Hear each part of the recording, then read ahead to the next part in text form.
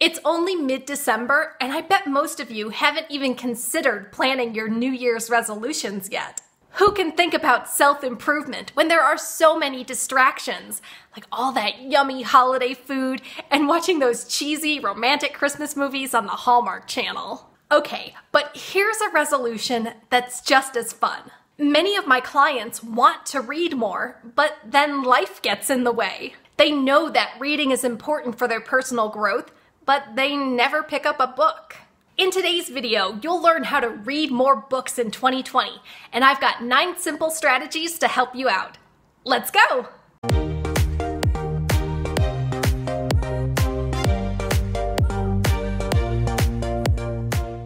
Hey there! I'm Sage Grayson, a former book editor turned life coach. I help ambitious career women edit their habits, routines, and mindsets to balance their happiness at work and home. I'm a life editor, and so are you. Today, we're talking about how to make time to read in the new year. No excuses!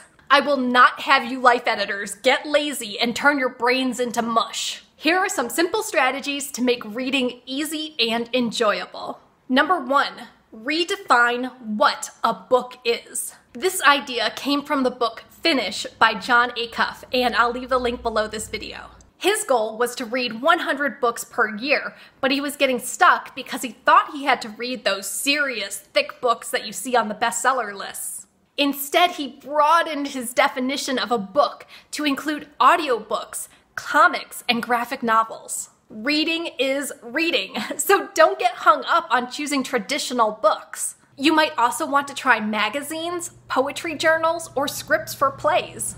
Number two, divide and conquer your books with tabs. I describe my tab technique in another video and I will link it below. But basically, you break down your books just like you would any other project. First, grab your book and then place sticky notes at specific intervals to track your progress. If you want to read one book per week, Take the total number of pages, divide by seven, and then place seven tabs, one for each day of the week, in your book. How do you mark your place in a book? Leave a comment below and let me know. Number three, delete distractions and focus on reading. How many of you come home from work and then immediately turn on the TV or start playing some music? If reading is important to you, then you gotta delete the distractions that keep you from it. Set a timer and then only focus on reading your next book. No watching TV, no folding laundry, no answering emails. Give your book the attention that it deserves, and you'll get more out of it. Number four, borrow your books from the library.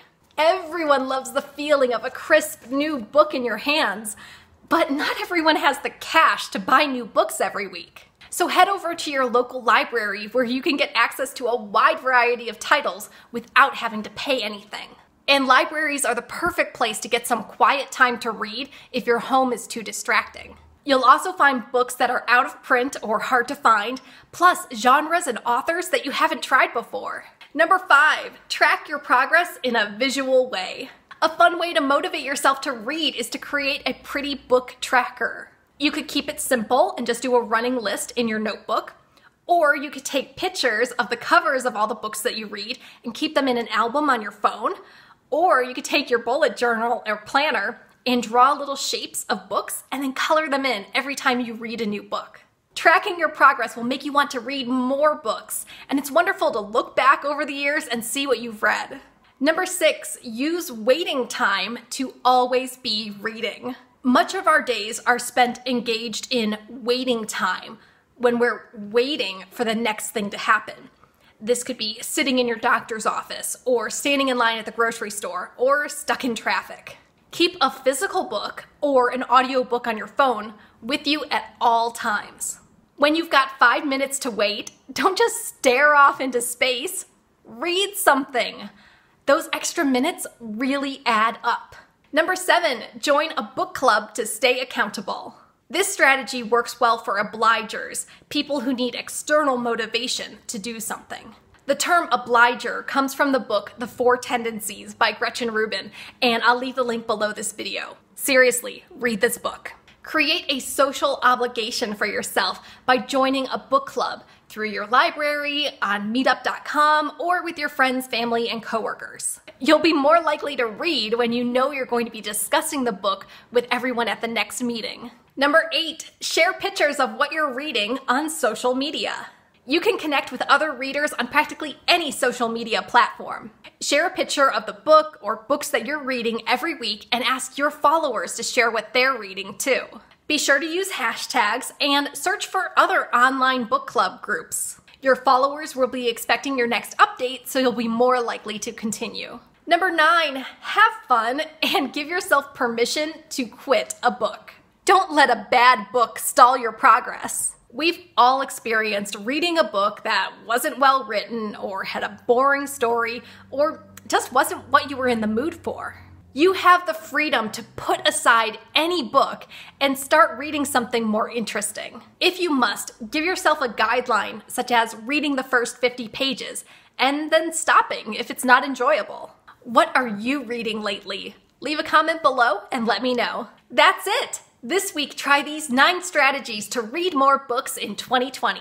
If you like this video, please be sure to hit that like button and subscribe and then come on over to sagegrayson.com and sign up for my free editor's toolkit. You'll get dozens of printable worksheets, ebooks, and resources to help you on your life editing journey, plus weekly updates and sage advice that I only share in email. Thanks for watching. I'll see you soon.